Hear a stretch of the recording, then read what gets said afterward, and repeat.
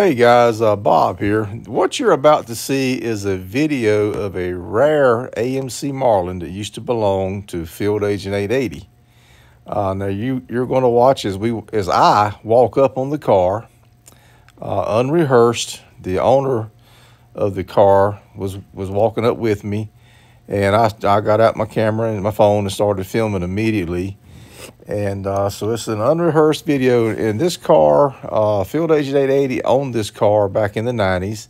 It's a rare three, I'm sorry, it's a, it's a 327 four-speed car. And AMC didn't keep the best records on these, but we believe only about 200, maybe 250 were made with a 327 four-speed. Now, he reluctantly sold the car in the late 90s to Robbie Collier, of Collier Motors, the guy with the AMC dealership in North Carolina that was featured on the uh, show American Pickers.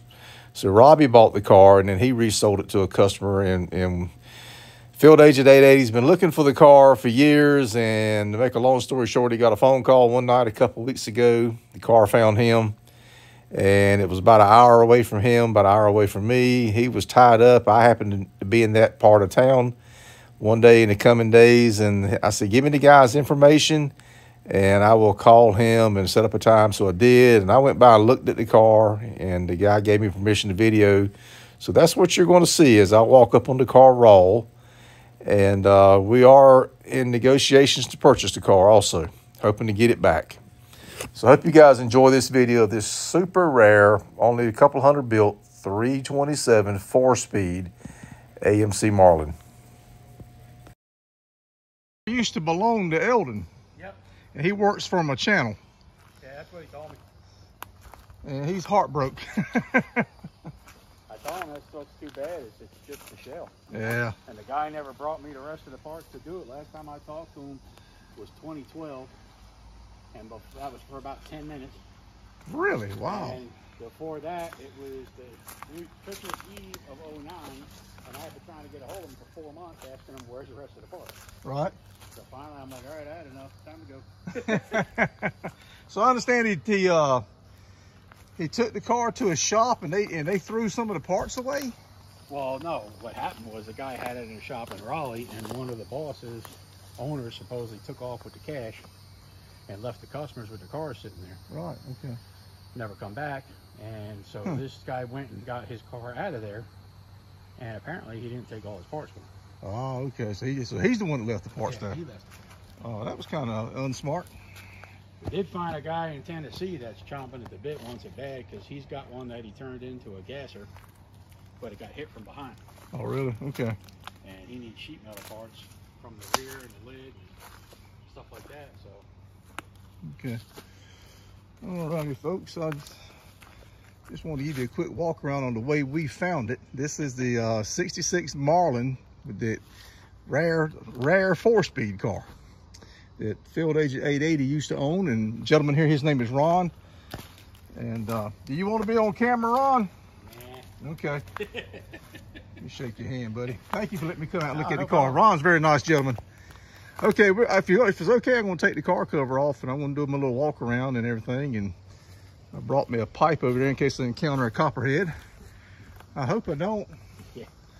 But if I do, I'm gonna turn you loose here just for a second, folks, while we get this. Uh, and again, this is raw footage. We just walked up on this car. So let me turn you loose while we get this car cover off.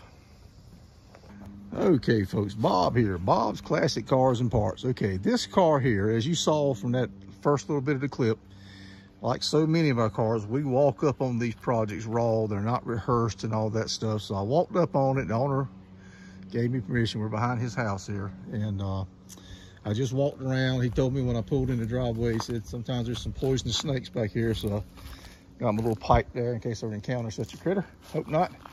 But um, anyway, uh, I had just got the phone out. He came walking around. His name's Ron. He runs a, a, a ceramic coating business for for pistols and handguns, that kind of thing. I'll try to link his uh, his business in here. Seems like a very nice gentleman. But anyway, the story is this car here belonged to Field Agent 880 back in, I think, 92. And he took it to a shop to have it, uh, have floor pans put in it. and they took the seats out of the car and put them in the back of an old Pontiac station wagon, I believe he said. It was sitting around behind the shop or something. And in the process of putting the floor pans in, they were they were cleaning up, and I guess they decided to have the Pontiac hauled to the scrapper and forgot to take the stuff in the Pontiac out. And so the car got hauled to the scrapper and was crushed. So he lost the original bucket seats in the car. And I guess that kind of left him a little bit disgruntled. When he picked it up from the shop, they had put a set of van bucket seats in it. So he sells the car to uh, Robbie Collier. If you guys know who Robbie Collier is, he's the AMC guy from Pikeville. Uh, American Pickers did the uh, that show the last AMC dealer. Okay, that, that place is not too far from here. And I've got a couple of videos out of Robbie. I got about 10 videos out of Robbie's uh, collection and uh, speak to Robbie fairly often.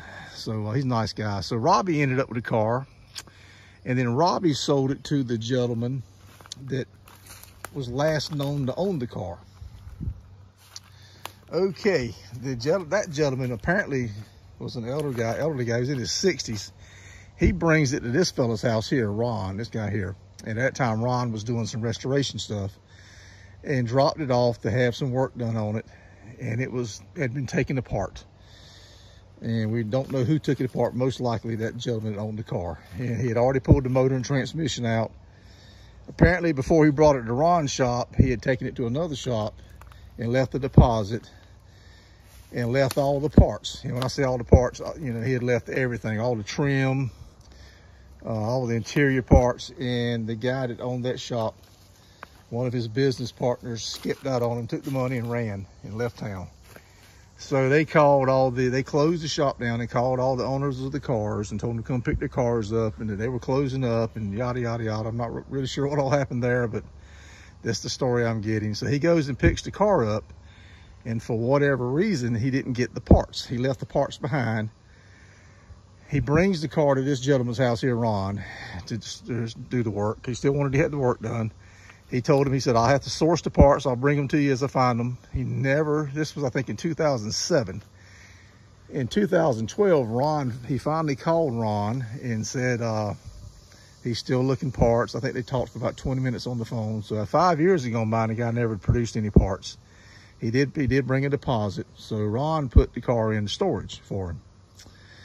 In the meantime, Ron went to that shop that originally had the car to get the parts, is my understanding and they had uh, they had tossed the parts in the dumpster because nobody ever came back to get them. So that's how the car ended up the way it is. It was brought here as a basket case, just basically a, a roller, a, you know, uh, disassembled shell. And uh, the guy never could come up with the parts for whatever reason. And uh, even though he bought the car from an AMC dealer, who would have probably have helped him. So I'm not sure, without talking to that gentleman, I'm not sure what happened. Now, we can't find that guy. We've looked for him. Well, they have. I have it, but they've looked for him. They can't find him. And they figure he's probably in his 80s by now. He could have passed on. But anyway, so Ron is getting a title so he can legally sell the car. North Carolina's tough when it comes to titles. So Ron's getting a, he's he's applied for a title, a mechanics lien, I believe, is what he's doing. So um, in the process of doing that, Eldon, my buddy, Field Agent 880, who works for my channel, his name came up as a prior owner. And so Ron reached out to him to see if he knew of any where this guy could be. And so that's how we rediscovered the car. So here I am today. We just heard about this on this weekend. It's Tuesday. I got over here as quick as I could. It's about 40 miles from my house. I was in this part of the, wood, uh, the area. I had I bought a truck here recently from out this way. So I ended up out here and I asked if I could come out and do the video. So this is where I'm at. So we're going to do the video. So I gave just a little backfill, a little backstory on how, how this cool car came to this state. Now, why am I continuing to call this a cool car? Okay, this is a 1966 AMC Marlin. They didn't make very many of these. I'll, I'll try to look up some production numbers and post them. But this is a 327. We believe it to be a high output 327. And it came factory with a four speed. We believe, AMC didn't do the best in the world of keeping records, but we believe, you see the four speed pedals right there. Okay, we believe about 50 of these were made. So, uh, very rare car, high performance 427. I mean, 327. And uh, what a shame. It does look like it's got good floor pans in it. As we go around and look, you can see it is missing everything. And I mean every damn thing. It does have this one piece of chrome here. It's got a pair of fenders from a different car on it. The hood has a little bit of rot here. That can be fixed. Uh, the cowl has rot there. He's got a he's got another cowl to come with the car. And you look right here, you can see it's uh, pretty bad shape. And there's some rot back here in this corner until you take that fender off. You won't know how far that bad that is. And also back in this corner here, it looks like on the inner fender well. So it ain't terrible, but it ain't great by any stretch of the imagination. But what's terrible about the car is the fact that it's missing the original drivetrain. So it's gonna be really tough to ID this car. Now here's the, I'm gonna show you guys the VIN. You guys can crunch that all you want. If we're wrong about the 50 with the five speed, I mean the four speed transmission, let us know, but that's that's my understanding. If, if we are wrong, we're not wrong by much because they didn't make very many, period, of these cars. Okay, I'm gonna give you a little walk around. We've got a big dent here in the fender. Nothing, nothing I've seen yet is not too terrible bad. I mean, rockers and these rockers, you know, let me get my little pad here. I'm gonna get down on my knees and I'm not a spring chicken either. Sometimes when I get down, I can't get up. Let's see what we can come up with up in here. Look this car over really good. Oh yeah, we got a lot of rot in this inner fender here. Oh my goodness, look at that. Look at all this, guys. Can you see all that? She's pretty bad. That's bad. That's a splash shield, I'm thinking. Or is it? All the way down to the bottom. That may be a splash shield, I'm not sure. I know some of the Mopars, they use a splash shield there. Oh, we get on into the, uh, the fender looks okay, I think the other than the little holes on the outside, it don't look that bad. a lot of dents in the door. The bottoms of the door I can't open when there's no hinges, and I don't want to undo his strap. So, uh, frame rails appear to be okay. You guys see something, let me know. I'm a little timid with the poisonous snake thing about getting down in here. Ah, man, that lower quarter shot, obviously. Woo. What is that hitting me there? Okay. Yeah, let's move on back a little further here. Things I do to save these old cars. Now, he said the rear end was just strapped in, and you can see the strap. He said it flops around really bad. Looks like the trunk pan looks okay, and the rear frame rails look okay like I said, it's nothing really, really terrible, but when you add it all together, it's terrible. If we hadn't lost that four speed in the original engine, that's a shame that happened. Trying to find that damn glass too, God almighty. I mean, you would have to find a parts car that's in better shape than this, which wouldn't be a big deal if you had the original drivetrain. But without the original drivetrain, you're probably better off just to not tear another car apart unless it's an old car that's been wrecked really bad or something or so there. Let's see what else we can come up with. Don't have a fuel tank. Now this quarter here I don't have my magnet with me but that if it ain't full of mud Now this would also, kind of like that blue, Petty blue little red express truck we did a while back. Same kind of thing. It's missing the original drivetrain. It's missing a lot of parts. Uh, the cab's gonna have to be replaced. Good car, good truck to put a five seven Hemi in or something like that. This car here, since it's missing the original drivetrain, if you wanted to do some type of resto mod, put whatever engine in it you wanted, I really couldn't blame you. Now he thinks he's got it sold to a gentleman in Tennessee if my buddy doesn't buy it. So my buddy's gonna have to act quick. Yeah, again, this rocker looks okay. I don't know what kind of mud's in it. a little patch panel on the door. The door on the other side, he wanted to replace, but I believe that's repairable. And as you see, the fender there looks okay. The roof looks okay. And the channel for the window looks okay. This would be a buildable car if we had the damn parts. Damn shame. It may still be a buildable car. Yeah, this thing, look at that. Holy shit. Pardon me, I'm sorry. look at that. The firewall is gone. Oh my God. Okay, guys. And it's got a, is that a dual master cylinder? I believe it is. Looks like it's got a manual power steering box. I mean, a manual power steering box. I was right the first time. I don't know, guys. I mean, you put a small block Chevy in it, a LS or a Hemi, or 401, 390. You can have some fun with the car, but you're never going to be able to put it back original. And I believe with some help from Robbie, we could we could find the parts and it's got some rock right here on the radiator support piece. Oh man, what a shame. Let's take a look at that dash. I know this video is getting long, guys. I'm sorry. Look at that. That dash cluster looks all complete. Still has the machine turned panel at the bottom where the switches went in. There's your four speed hold, hump and hole. Okay guys, well you've pretty much seen it. Again, uh, we're putting it back original unless we can look up and find the original drivetrain.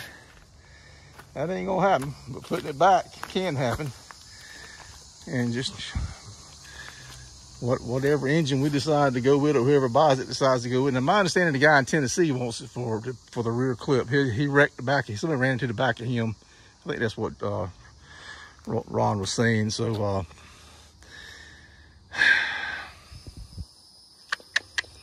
he's gonna he's gonna cut the back clip off of it. So my, my buddy Field Agent 880, he'll try to put the car back together. So uh, folks, I hope you enjoyed that. Uh, yeah, there's your Z-bar right there. Some wiring harness is still in it. Let's see if there's any wiring harness under the dash. Yeah, there's a little bit in there, not a whole lot. Probably not. It's definitely missing some wiring, I believe, inside the dash. Looks to be. Okay, guys, so there you have it. Uh, I'm not sure how we're going to present this video. Um, this is a car that's special to Field Agents 880. He may, he may want to chime in and create some kind of uh, the stories with Bob thing we do. I'm not sure, but uh, there you have it, folks. Hope you enjoyed that. This is what we do, guys, on this channel. We find these old relics, and uh, sometimes they're six cylinder cars. They're just plain cool. Sometimes there's something special like this, one, one of 50. Uh, who knows? But uh, raw videos. I'm no expert on these cars at all. Uh, I'm just, just walking up with, with me as we see it. So I hope you enjoy that type of content. I really do. Because we're true car guys. None of this stuff's rehearsed. It's not planned. It's not planted. Anything like that. So, and we find a lot of cool stuff. Our, our fingers reach quite a, quite a ways. Okay, folks, uh, for the 14th time now, I'm gonna try to sign off here. I just, I'm just heartbroken that this car ended up like this. I really am. I can't get it out of my head. Take care. I hope you enjoyed that video. Hit that bell notification. That way you can be notified of any new videos. We put out a lot of videos every week. And uh, I got seven guys that help me on the channel. And uh, we're in three different states. And uh, car guys, we all know each other. And uh, man, I tell you what, we do some outstanding stuff with these cars. There's a lot of, a lot of guys on YouTube that save cars and we're right there with them. So uh, we're going to try to save this one, I hope. I'm going to try to talk him into it. I've done made my mind up. So, all right, folks, uh, hit that bell notification. Hit that subscribe button. We'll have some more stuff coming soon. And uh, hope you like this video.